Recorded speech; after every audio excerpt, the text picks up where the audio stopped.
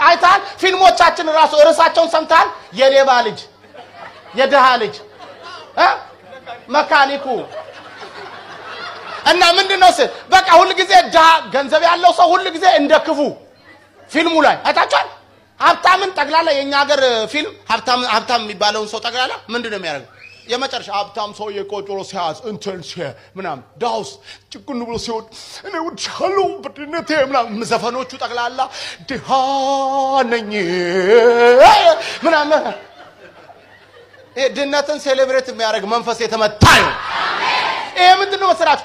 ከዚህ ከምቀኝነት ዝም ብሎ እንዳይመስላችሁ። ቆይ ድህነት አይኖርም እንዴ? ራሱ ጌታ ድንግል ማርያም ደስ ይበልሽ፣ የአምላክ ጸጋ የሞላብሽ የማፀንሽ በጎ ፍሬ ያድነናል እስከ ዛሬ ያድነናል እስከ ዛሬ ዓለም ሁሉ በሽተኛ ህመምተኛ። ግን መድኃኒት አለለኛ ኑ ወደኛ ስሙ ኢየሱስ መድኃኔዓለም እንደ እርሱ ያለ የስ ጸንቶ መኖር ለዘላለም ጸንቶ መኖር ለዘላለም። መምረት ሕይወት መንገድ እርሱ ለነፍስ መዳን ለስጋ ፈውሱ። የስ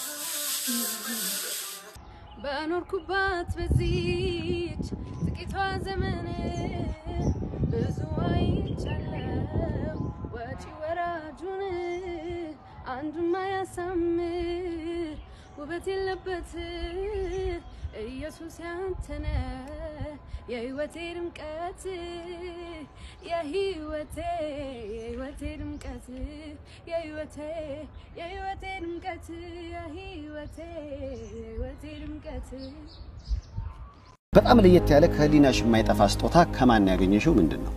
ከሊና የማይጠፋው ስጦታ ከእግዚአብሔር? እግዚአብሔር አንድ ልጁን ውዱን ልጁን ኢየሱስን ለእኔ እንዲሞት ሳይገባኝ የሰጠኝ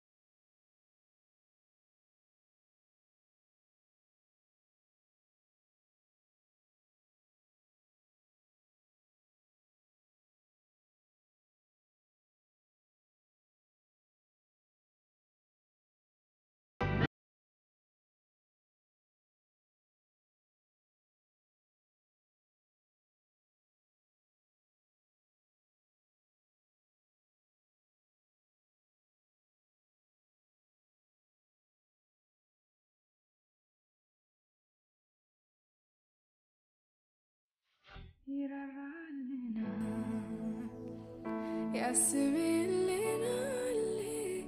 በጊዜው ሰርቶ ደግሞ የሚያስቀና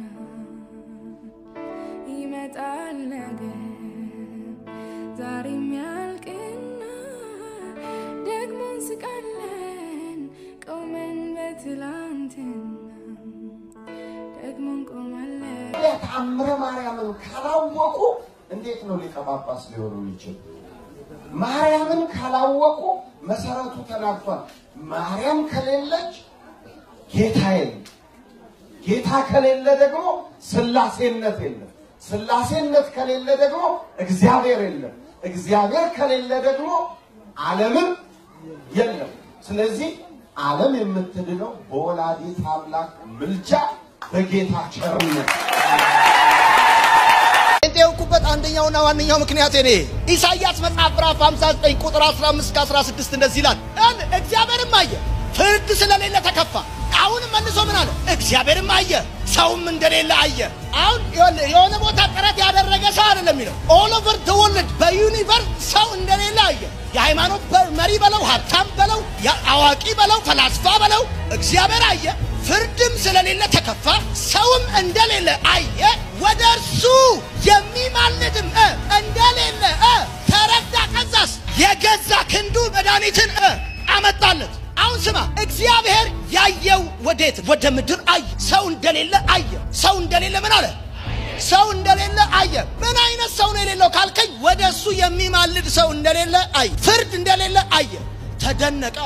ሃይማኖት ልክ እንደ ርስት ከአንድ ትውልድ ወደ አንድ ትውልድ ማስተላለፍ ይቻላል። ክርስትና ግን ማስተላለፍ አይቻልም። ትወለዳል። ሃይማኖት ሰው ሰራሽ ነው። ክርስትና ግን የመጣው በክርስቶስ ነው። ክርስትና ማለት ክርስቶስ ማለት ነው። ክርስትና ስትሉ ክርስቶስ ብቻ ይነሳል። ሃይማኖት ስትሉ ግን ደንቦች አሉት፣ ስርዓቶች አሉ። ክርስትና ውስጥ ራስን አጎሳቁል፣ በአንድ ጫማ ሂድ፣ በፀሐይና በዝናብ ተደብደብ የሚል ስርዓት የለም። ክርስቶስ የዘረጋው የክርስትና መንገድ ለአይሁድም ለግሪክም ላልተማረው የሚስማማ መንገድ ነው። በሃይማኖት ውስጥ ያለው ስርዓትና ደም ሰርተህ ሳይሆን ሰምተህ ራሱ ያስጨንቃል። ከሰው ተለይተ ጫካ ውስጥ ኑር ይላል። ከሚመች ምግብ ርቀ ቆሎ ብቻ አኝክ ይላል።